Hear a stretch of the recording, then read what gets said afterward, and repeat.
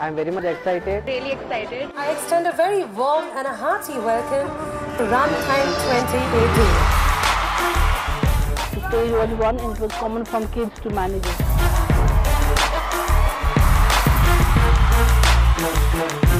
The leadership really inspired us.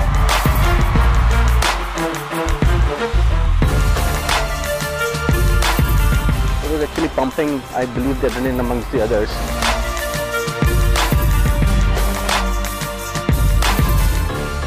It's a really amazing experience. Mastek went out of the way and got banned for us to build excitement.